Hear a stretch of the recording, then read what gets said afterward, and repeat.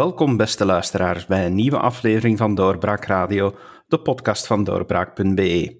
Ik ben een gastheer David Geens en ik zit vandaag samen met onze Amerika-kenners Rowan Asselman en David Nijskes. Welkom, heren. Goeiedag. Dank u wel. Goedemorgen.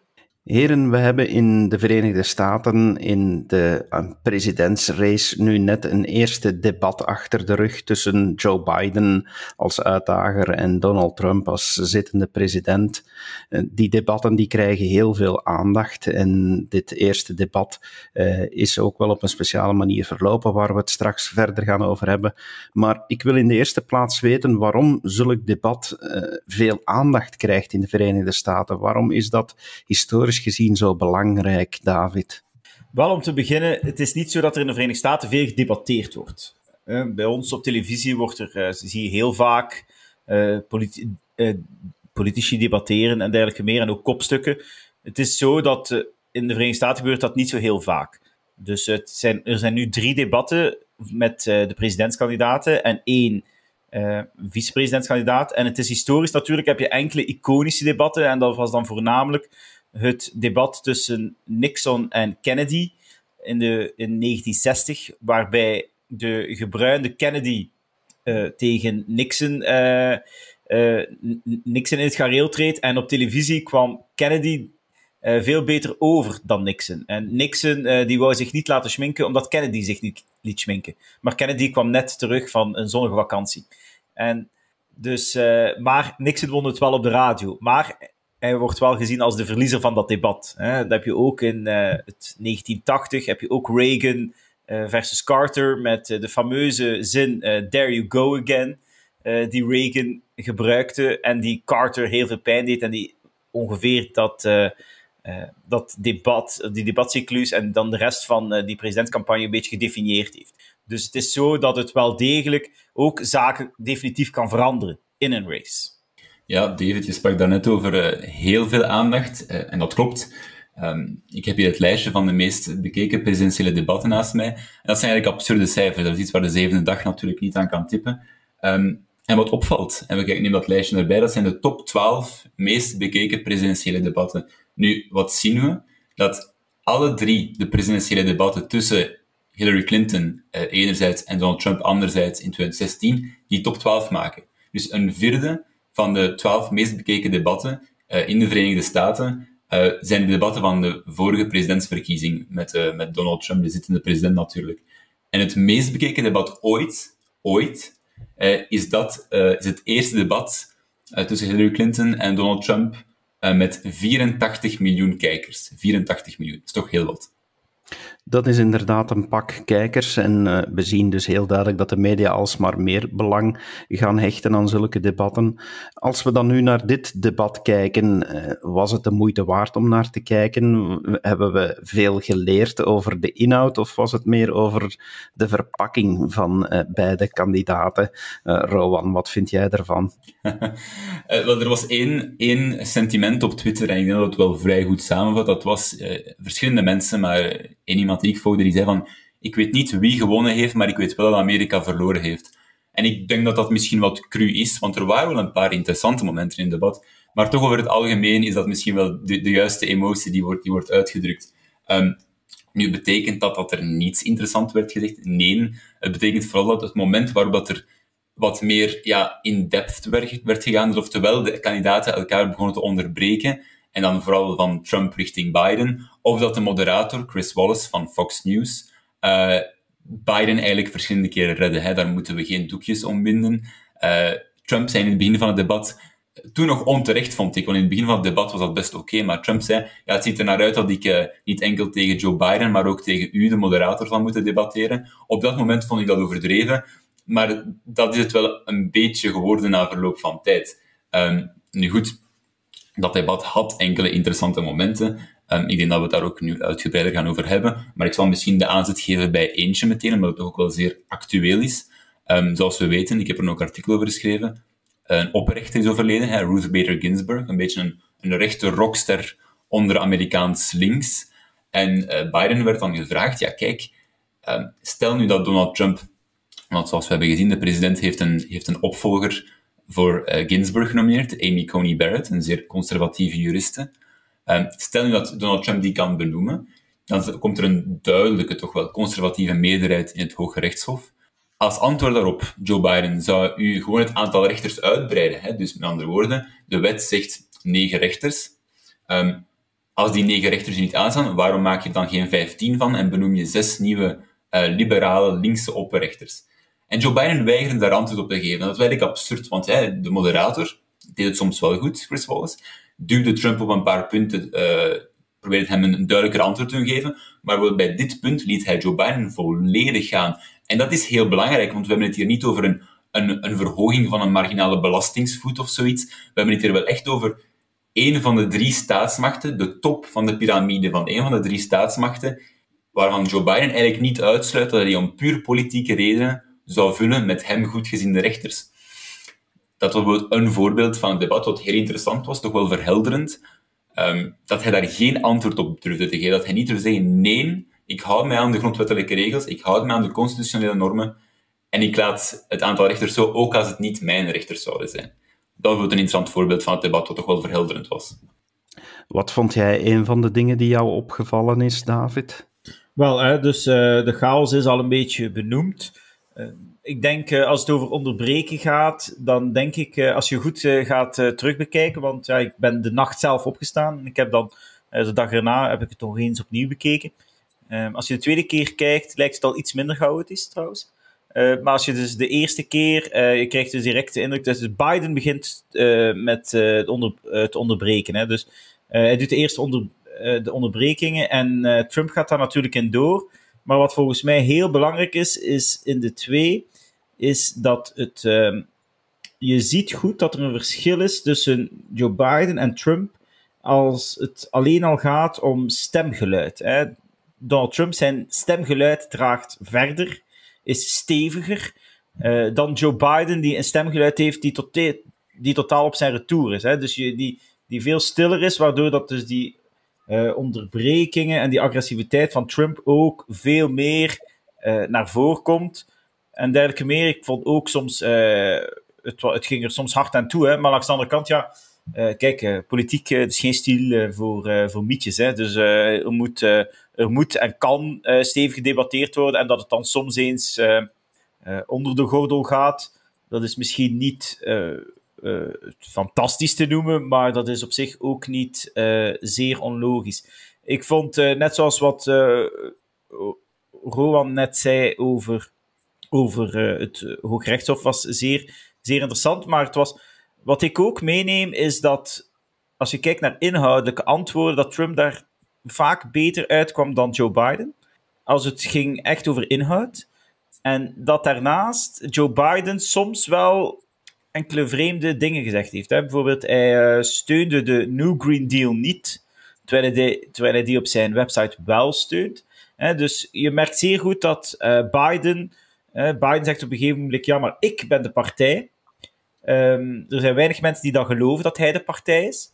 Trump heeft hem daar ook verschillende keren over onder vuur uh, genomen. Dat hij zei van ja, maar jij zit gewoon. Jij gaat de agenda uitvoeren van Bernie Sanders en dergelijke meer. Je merkt dat Biden zowel op twee, op twee pijlers blijft rusten. Dus hij moet die linkse basis houden.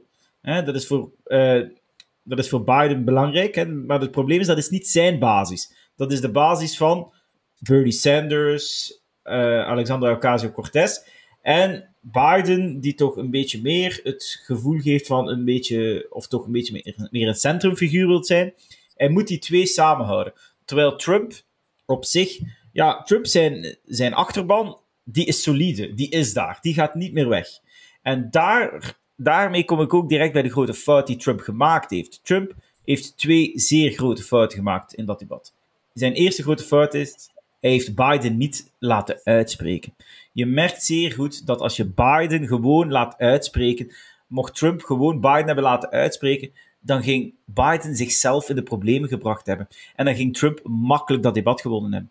Dus ik denk dat dat een zeer belangrijke is. Dus dat daar Trump uh, een grote fout gemaakt heeft. En daarnaast zijn, zijn algemene stijl. Hij kan gewoon, uh, hij kan gewoon iets presidentieler zijn en zich gewoon tot op zijn eigen inhoud uh, focussen, in plaats van zich te focussen op de aanvallen. Want hij kon perfect zeggen in die vraag over race, ja, maar sorry, maar ik heb criminal justice reform gedaan. Hè. Hij, heeft, heeft Biden in die vraag veel te hard willen pakken op zijn steun voor de crime bill. Maar je had moeten zeggen wat hij zelf gedaan had in zijn presidentschap. Hij had gezegd, kijk, hij heeft dat gezegd, maar dat was heel kort en dan direct de aanval. Dus hij had moeten zeggen van, kijk, ik heb criminal justice reform gedaan. U heeft dat de afgelopen 47 jaar niet gedaan. Meer zelf, u heeft in 94 de crime bill uh, gedaan. Die massaal uh, Afro-Amerikanen, uh, jonge mannen in, voor kleine vergrijpen, meestal kleine drugsvergrijpen, de gevangenis heeft laten indraaien voor jaren. dat is bijvoorbeeld één voorbeeld waarop hij echt, die, die Trump echt gewoon fout gedaan heeft. Ja, ik wil daar nog twee korte opmerkingen bij formuleren. Hè. Inderdaad, ik denk, en dit is een beetje, dat gaat in tegen de, de, de idee van de, van de grootste Trump-fans, dat is, ik vind dat Trump geen goede woordvoerder voor zichzelf is. En mensen die zeggen, nee, maar Trump gaat rechtstreeks naar de mensen, dat is goed. Ja, maar je kan rechtstreeks naar de mensen gaan, niet op een totaal incompetente manier, zoals hij vaak doet. En sorry, maar dat zagen we in dit debat. Zoals David trouwens net zei, uh, inhoudelijk was dat eigenlijk best wel oké. Meer nog, ik denk dat Trump veruit superieur was aan Biden als het ging over het hebben over ideeën, inhoud. Het probleem is dat Trump, en dat heeft hij al langer, dat is niet iets recent in tegenstelling tot bij Biden bijvoorbeeld met zijn achteruitgang, maar Trump kan complexe ideeën niet goed in simpele woorden brengen. Trump gebruikt graag korte zinnen, een relatief eenvoudige vocabulaire, en dat is goed, zolang je daarmee niet de belangrijke nuances vergeet. En dat doet hij vaak. We zagen dat één voorbeeld, en dit is inderdaad iets waar de media in volle spin is gegaan, maar ook team Trump daarna. Trump werd gevraagd, hè, Donald Trump, uh, u stelt dat Joe Biden weigert om het geweld van Antifa en uh, bepaalde gewelddadige elementen van de Black Lives Matter-beweging te veroordelen. Goed. Maar, en dan Wallace, zijn logische opvolgvraag is, wat ik niet bijzonder logisch vond, was, dus Donald Trump veroordeelt u extreemrechts geweld, hè? Um, white supremacist geweld. Waarop Trump gewoon had moeten zeggen, ja, had zich had moeten keren naar, of ja, ik heb al meermaals gedaan, wat klopt, dit is geen Trump-spin, dit is waar, Donald Trump heeft het al meerdere malen gedaan, zich gekeerd naar Joe Biden, en Joe, veroordeel jij nu het geweld van Antifa? Maar dan begon hij daar een hele discussie met de moderator en met Biden, en dat was een hele, ja, excuse my French, maar een hele shitshow dat daar was, dat daar gaande was. En dat heeft de media gedomineerd de 24 uur na het debat. En dat is jammer, niet omdat Trump loog, uh, maar omdat Trump gewoon een dwaas antwoord geeft op, op een vraag die zeer simpel beantwoord kunnen worden. En dan nog kort, ik vind persoonlijk dat Biden het best goed heeft gedaan. Uh, waarom heeft Biden het best goed gedaan? Ja, omdat, of ik zal het, ik zal het net herformuleren, heel veel mensen gaan perciberen dat Biden het goed heeft gedaan. En dat is eigenlijk ook een beetje de schuld van Team Trump, omdat de lat voor Joe Biden dermate laag lag Eigenlijk, Joe Biden ging het debat winnen als hij niet letterlijk omver viel achter het podium. Zo simpel was het. En Biden heeft inderdaad het grootste deel van het debat, zeker naar zijn maatstaven, een relatief, relatief coherente antwoorden geformuleerd. Hè. Naar zijn maatstaven is wel een belangrijke uh, verduidelijker hier. Maar ik denk dat Biden best goed uit dat debat is gekomen. Niet omdat hij het zo geweldig goed deed, maar dus A, omdat de lat bijzonder laag lag. En B, omdat Trump het niet kan laten om geregeld in zijn eigen voet te schieten. Dat is een beetje hoe ik het zie. Ja, ik wil er nog Hebben we inhoudelijk iets bijgeleerd uh, uit, uit, deze debatten? Zijn er dingen naar voren gekomen die we nog niet wisten, uh, David? Uh, ja, ik nieuwe, nog even... nieuwe standpunten? Nieuwe standpunten niet echt. Hè. Dus ik, ik wil nog even afmaken wat, wat, wat Rowan daarnet zei over, um, over die white supremacy. Hè. Dus Trump dus is, als je dat goed bekijkt en je analyseert wat daar gebeurt is zeer goed in die vraag, dan merk je direct dat dat de reden is. Trump was te agressief. Hij zegt twee keer hè, white supremacy. Hij zegt, do you want to condemn white supremacy? Trump zegt, sure, sure. Twee keer, zeker. Hè, dus voor de, hij zegt twee keer dat hij dat wil, ontkennen. Hij zegt, ja, geef mij een of andere organisatie. Dan zegt hij die fameuze stand down and stand by. Maar de reden waarom dat hij dat zegt, is omdat Wallace in zijn vraagstelling het woord stand ook gebruikt. En je kunt ook stand by in de vorm van bystander. Hè, dus doe niks. En daarnaast is het zo dat Biden daarop antwoordt met uh, Antifa is not an organization, Antifa is an idea. Sorry, maar Antifa is geen idee. Dat is een organisatie, dat is een wereldwijde organisatie die overal terreur zaait in de straten als het over protest gaat. Hè. We hebben wat je afgelopen maanden gezien hebt in de Verenigde Staten, Antifa, wat we enkele jaren geleden gezien hebben in Hamburg, Antifa. Dus met andere woorden, dat is niet zomaar een idee. En het valt toch op dat de media en uh, ook Chris Wallace daar totaal niet uh, op inging. Uh, dus dat wil ik daarover nog even meegeven. Um, inhoudelijk, wel, nee, hè. Dus het is het verzande snel in een, in een grote, wel, wel, niet de show. wat mij geweldig verrast heeft, is dat Biden twee zaken gedaan heeft. Hè. Dus ik heb daarnet al gezegd, hè, dus hij steunt de New Green Deal niet. En hij wil de belastingsverlagingen van Trump afschaffen. En hij zei er zeer duidelijk bij, ik wil de vennootschapsbelasting terugbrengen naar 28%, waarbij dat ze onder Trump verlaagd is naar 21%. Ja, ik denk dat, en dat zag je ook in de peilingen daarna, hè, er, was één, er was één peiling, en die was die peiling uh, onder, uh, van Telemundo, on, en Telemundo, dat is een Spaans sprekende zender, televisiezender in de Verenigde Staten. Dat daar Trump als grote winnaar uit de bus kwam. En volgens mij heeft dat veel te maken met dat antwoord op die belastingen. En dat is namelijk het feit dat er zijn heel veel, bij de Hispanics heb je heel veel kleine ondernemers en dergelijke meer. En ik denk dat die mensen niet zitten te wachten op een, op een belastingsverhoging. En ook al zegt Biden, hij bevestigt het vandaag weer opnieuw, ja, niemand onder de 400.000 euro per jaar zal meer uh, belasting moet betalen. Ja, als je een klein uh, winkeltje hebt en, en dat winkeltje maakt 200.000 dollar uh, meer profit, ja, dan gaat je wel meer betalen natuurlijk. als je dus die vennootschapsbelasting verhoogt. Dus ik denk dat daar. Ik, dat zijn een beetje de zaken die ik inhoudelijk als nieuw heb gepercipieerd. En bij Trump was er weinig inhoudelijk nieuw. Hij verdedigde in feite voornamelijk zijn bilan. Jij, Rowan, die dingen die jou opgevallen zijn, wat, wat inhoud betreft, nieuwe standpunten? Goh, nieuw. Ik denk, heel veel nieuws is er daar niet uit de bus gekomen. Dat heeft ook te maken met heel, allez, een, een totaal veranderend medialandschap. In tegenstelling tot, hè, zo niet zo heel lang geleden, 2008, toen Barack Obama voor de eerste keer opkwam, was sociale media nog bij lange niet zo groot. Hè. Toen ik net in het middelbaar zat, helemaal niet zo'n ding. Um, maar met de nieuwe sociale media natuurlijk, ja, de standpunten worden onmiddellijk gecommuniceerd. Iedereen is constant 24 op 7 verbonden. Dus het is nog veel moeilijker uh, om mensen te verrassen tijdens een debat. En dat er ja, de 24 uur op voorhand plotseling een wijziging standpunt is gekomen.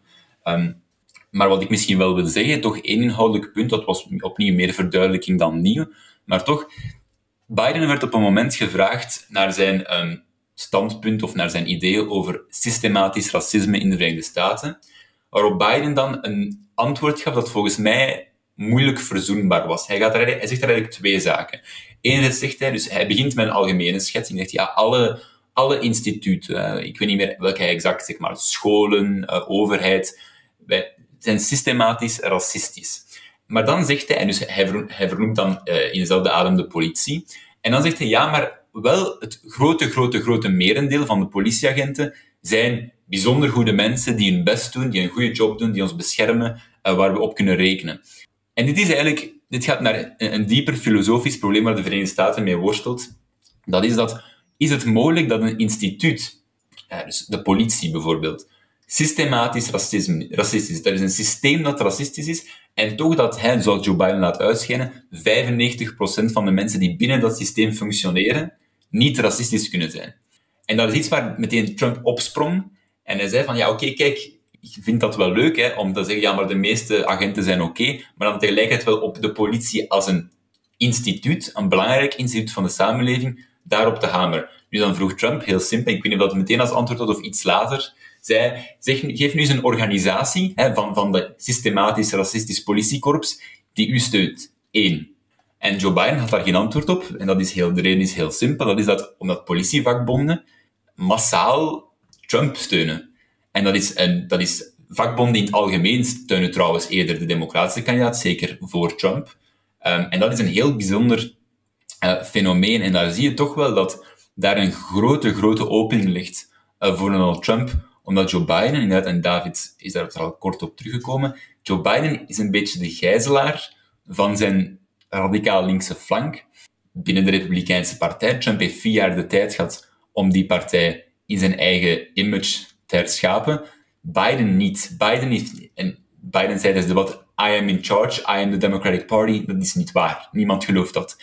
Biden wordt, uh, uh, is de gijzelaar van zijn linkerflank. Dat is normaal en hij moet zijn partij bij elkaar houden. Maar daar zien we toch wel dat, en ik denk dat dat misschien voor het eerst, ook in 2012 misschien onder Obama en Romney, maar voor het eerst dat het duidelijk wordt dat de politie en uh, law and order, misschien sinds Nixon, maar goed, law and order een bijzonder um, partijpolitiek issue is. Waarbij dat voor het eerst, denk ik, sinds lange tijd er één partij bijzonder hard de kaart trekt uh, van law and order en de andere partij ja, daar toch zoveel mogelijk van wegloopt. En dat is opvallend. Dat vind ik heel opvallend. In de Verenigde Staten bestaat de gewoonte om na zulk debat een winnaar te kiezen, om te zeggen van ja, die of die kandidaat is duidelijk de winnaar van dit debat. Is dat deze keer nog mogelijk uh, na, na dit debat? Uh, is men het daarover eens wie gewonnen heeft? Ik denk dat er geen winnaar was. Ik denk dat Trump, zoals ik net gezegd heb, er iets beter uitkwam op inhoud, maar die inhoud werd volledig ondergesneeuwd door wat er de rest gebeurd is. Ja, Biden is natuurlijk, volgens, is natuurlijk uh, zou wel eens de grote winnaar kunnen zijn natuurlijk in dat debat. Gewoon omdat hij uh, niet verloren heeft. Dat is het, uh, het grote punt. Biden heeft niet verloren en door het feit dat hij niet verliest, wint hij. Dus dat is het grote ding. Dus zolang dat Biden niet verliest, en de enige reden waarom Biden niet verliest, is omdat, omwille van het feit dat Donald Trump Biden gewoon niet heeft laten uitspreken. Punt. Had hij Biden laten uitspreken, had Trump makkelijk gewonnen. Ja, ik sluit me daarbij aan. Ik denk, had, ik denk Team Trump heeft de, lat voor Biden zo laag gelegd met Sleepy Joe. De idee dat Biden eigenlijk een half lijk is. Dat zolang dat Biden geen half lijk was, we zagen dat de eerste keer trouwens tijdens zijn acceptance speech bij de Democratische Conventie, waarbij hij een oké okay speech gaf, maar moest Obama die speech hebben gegeven, dan had iedereen gezegd van oei, wat is er mis met Obama? Is hij ziek? Uh, en we zagen dat nu opnieuw een beetje tijdens het debat. Dus ik, als je mij de vraag stelt, uh, David, dan zeg ik, Biden won het debat. Uh, dat vond ik. Um, maar dus inderdaad niet omdat hij zo bijzonder goed was, maar omdat Trump hem niet over zijn eigen voeten liet struikelen. Zie je zulk effect in de peilingen? Uh, je, wel, in de peilingen blijft het allemaal relatief gelijk, maar het is zo dat ik... Uh, mensen die mij kennen, ik volg natuurlijk voornamelijk de bookmakers, uh, de mensen die hun eigen geld inzetten. Uh, en daar merk je toch dat Trump echt klappen gekregen heeft afgelopen, afgelopen week, zeg maar. Hij staat nu op ik denk dat hij nu ongeveer een uh, 2, 23% achter staat, of 24% zelfs. En uh, het was wel zo dat hij na de conventie gelijk stond, uh, terug bij de bookmakers. Dus ik denk dat Trump daar zelf heel veel fout aan heeft gedaan. Dus hij, hij, staat, hij staat terug achter bij de bookmakers en hij zal terug dat moeten proberen ophalen. We kunnen natuurlijk uh, dit, uh, dit gesprek niet afsluiten zonder toch ook even stil te staan bij het laatste nieuws. Donald Trump uh, is besmet met het coronavirus, heeft dus COVID-19. Ja, hij stelt het wel goed, heb ik de indruk van. Hij is niet doodziek, hè? Hij is niet doodziek, dus hij heeft zelf, hij heeft zelf het, hij heeft nog een kleine videoboodschap opgenomen voor hij naar het ziekenhuis vertrok. Hij heeft gezegd, ik ben in goede gezondheid, maar het is uit voorzorg. En hij is daarna ook naar de helikopter uh, zelf gestapt. Dus ik denk, uh, dus op zich uh, valt het mee. Ik denk dat het dus inderdaad om, op basis van voorzorg is. hij wordt behandeld met medicijnen. we zullen zien. hij heeft natuurlijk zijn leeftijd niet mee, hij is 74 jaar. Dus het dus toch begin het aan de risicogroep. Ik denk ook niet dat hij de meest gezonde levensstijl heeft. dus we zullen moeten zien. Maar het is wel zo dat er wel nog altijd wordt gezegd dat hij, dat hij op dit moment nog altijd telefoongesprekken doet met senatoren en dergelijke meer. Ja. ja, mathematisch zou je trouwens, want natuurlijk gezondheid is het belangrijkste. We hopen allemaal dat hij uh, spoedig herstelt. Uh, ik denk trouwens links en rechts, behalve een paar minder aangename mensen op sociale media. maar trouwens, mathematisch zou het eigenlijk uitkomen dat hij net zou kunnen deelnemen aan het tweede debat trouwens. Want er wordt gezegd van, ja, maar kan Trump dan wel deelnemen? Het gaat natuurlijk over enkel de quarantaineperiode. Het gaat niet over dat hij echt ziek wordt, dat hij niet uit zijn bed kan. Eh, of dat hij gewoon niet in goede gezondheid verkeert om, aan een debat deel te nemen. Maar dat zou eigenlijk mogelijk moeten zijn. En ten tweede, dat is ook wel belangrijk, um, de vicepresident, dus Mike Pence, dat is de opvolger, moest Trump tijdelijk of permanent zijn functies niet kunnen uh, uitvoeren, uh, heeft negatief getest. Dus die man, wees daar maar zeker van, die wordt nu in, in, uh, in eenzame opsluiting ergens vastgezet, waarom dat er iemand moet zijn die de chain of command kan overnemen, moest Trump. En want er, moest hij sterven, dan is dat vrij duidelijk. En moest hij zo ziek worden dat hij niet meteen meer in staat is om zijn functies te uit te oefenen, dan is er zoiets als het, het 25e amendement bij de Amerikaanse grondwet. En dat regelt onder meer dat dan de vicepresident samen met het kabinet een soort van verklaring kan afleggen waaruit blijkt dat de president niet in staat is om zijn functie uit te oefenen. En dan krijgt de vicepresident de presidentiële bevoegdheden, maar daar zijn we natuurlijk nog niet. En natuurlijk, feitelijk speelt Pence nu in het Witte Huis een belangrijkere rol, dat weet iedereen. Maar zoals David zegt, zolang dat hij in staat is om te praten, zal Donald Trump blijven praten. Daar, daar kunnen we zeker van zijn.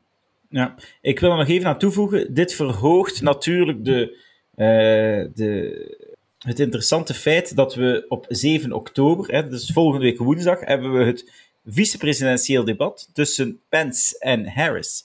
Dus met andere woorden, we zitten hier in feite de facto door het feit dat uh, Trump uh, nu in het ziekenhuis ligt, zitten we met de vreemde vaststelling dat, we, dat, ja, dat Pence, uh, stel nu dat, het, dat Trump zijn situatie nog verder verslechtert, dat Pence een soort van president, in, uh, een soort van president is, hè? Ik bedoel, een soort de facto president. En dat Harris, die toch algemeen wel een beetje wordt gezegd van, ja, kijk, die Biden, ja, die gaat waarschijnlijk maar één termijn doen. Hoe gaat die één termijn, hoe gaat die eerste termijn verlopen, gezien zijn mentale toestand en dergelijke meer. Dus dat wordt bij een bijna presidentieel debat. Ik denk dat, dus dat wordt een belangrijker debat dan, het wordt het belangrijkste vicepresidentieel debat ooit. volgende week woensdag. En daarnaast is dit ook wel voor Pence een uitstekende kans om zich echt op de kaart te gaan zetten. Hè? Dus ik, mocht ik van Pence zijn, ik zou nu ook volop campagne gaan voeren. Tonen, één, aan de achterban van Trump, dat toen Trump het lastig had, dat Pence er was en dat Pence de, de hete kastanjes uit het vuur ging halen voor Trump. Maar daarbij komt bij dat Pence ook bij veel establishment-republikeinen toch wel een stuk beter ligt dan, dan Donald Trump. Dus ik denk dat er wel een, een kans ligt voor Pence om zichzelf op de kaart te zetten, maar ook enkele verloren schapen die een afkeer hebben van Donald Trump. En daarom niet voor het Trump-Pence-ticket zouden stemmen, om die verloren schapen misschien naar de stal te halen sommige mensen stellen wel luid op de vraag van ja, maar stel nu dat Trump uh, spijtig genoeg, uh, voor sommigen, voor anderen, die zullen misschien dan hoera, roepen. En dat laat ik in het midden. En, voor de soms niet zo mooie discussies op de sociale media. Maar stel nu dat Trump het niet overleeft. verandert er dan iets aan de race in de zin van dat de verkiezingen worden uitgesteld? Of is dan gewoonweg uh, de, de kandidaat voor de Republikeinen, is dat dan Pence? Uh, wat nee, nee, zou er gebeuren ja. als dit allemaal nog voor 3 oktober iets, iets zou gebeuren met Trump? Ja. Ja, 3 november. Hè. Uh, maar uh, nee, 3 november, ja. ja 3 november. Uh, nee, de verkiezingen liggen constitutioneel vast. Punt. daar kan niks aan veranderd worden. kunnen niet uitgesteld worden. dan is het zo dat de vicepresident de functie van president opneemt. Hè. Dus dat, op dat ogenblik legt Pence de eet af. Zelf uh, mocht Trump nu die verkiezing verliezen. En op, uh, ik zeg iets, op, Trump verliest de verkiezing op 3 november en hij overlijdt op 15 november. Zelf dan nog zal Pence de eet afleggen. Duidelijk. Heren, ik denk dat het nog altijd boeiend zal blijven. verandert er iets in jullie inzichten wat we nog moeten verwachten of spectaculaire dingen die, die nog verrassende wendingen gaat, gaat geven de komende weken? Goh. Wel, ja, zeg maar gewoon. Ja, uh, nee, wel, is er iets veranderd in mijn inzicht in het algemeen? Ja, ik denk dat volgens mij staat Biden er beter voor nu dan de laatste keer dat we spraken. Ik denk dat dat is mijn algemeen inzicht. Uh, ik denk dat Trump de underdog is. Ik heb daarnet eens, heel kort, hè, de peilingen bekeken op Real Clear Politics. Dan zie je dus de nationale peilingen. inderdaad, de president wordt niet op nationaal niveau verkozen, maar toch, dat zegt iets van, van het niveau. En daar zagen we dat in de laatste 25 peilingen, ik heb ze geteld, um, Trump niet één keer de leiding nam. En oké, in verschillende battlegrounds is het nipt, maar dat heeft ook mede te maken dat eigenlijk verschillende staten die rood zouden moeten zijn, die republikeins zouden moeten zijn, nu swing states worden. Dus je kan zeggen, oké, Trump leidt daar nipt, maar dat zou eigenlijk niet nipt mogen zijn. Eigenlijk zou je daar moeten met 10, 12, 14 procent de leiding nemen. Dus ik denk dat je... Mijn, mijn brein zegt Biden, maar dan is er zoiets dat zegt, ja, mijn brein zei dat ook in 2016. dus uh, ik, Trump is niet uitgeteld, ik zou het zeggen 70-30 momenteel. Als we er dan een cijfer op moeten plakken, 70-30 Biden. En jij, David, uh, wat is jouw verwachting op dit moment? Ja, ik denk, uh, ik, ben, ik zit zeer nauw bij wat Rowan zegt. Ik ben enkel iets minder sceptisch over die, over die swing states. Ik denk daarnaast dat Trump nog altijd ook underpolled wordt. Uh, en ik ben nu eens benieuwd in hoeverre dat er een soort van uh, uh, sympathiestem naar Trump gaat komen omwille van corona of niet. ik denk dat de media zijn uiterste best gaat doen om te zeggen van Trump, het is allemaal zijn eigen schuld. Ha, maar ik, ehm, ik denk dat vele Amerikanen op, misschien wel gewoon gaan meeleven met een president. En dat dat misschien hem ook wat, wat kwetsbaarder maakt, wat misschien in het geval van Donald Trump soms geen slechte zaak is. Dus ik denk dat op dit ogenblik, ik denk dat mijn aansluit bij, bij, bij Rowan, mijn hoofd zegt iets meer Biden, maar het, uh, de buik zegt nog altijd dat uh, Trump zeker een zeer goede kans maakt. Laat het maar lekker nipt wezen, dan hebben wij nog redenen om hierover podcasts te maken. Uh, Rowan Asselman, David Nijskes, dankjewel voor jullie toelichting. Het was verhelderend, zoals altijd. Dankjewel, David. Dankjewel. En u, beste luisteraar, dankjewel dat u hebt afgestemd op deze podcast. Geniet ervan en graag tot een volgende keer. Dag. Dit was een episode van Doorbraak Radio, de podcast van doorbraak.be. Volg onze podcast op doorbraak.be/slash radio of via Apple Podcasts, Overcast of Spotify. Bezoek ook onze website op doorbraak.be en steun ons door een vriend te worden van Doorbraak. Thank you.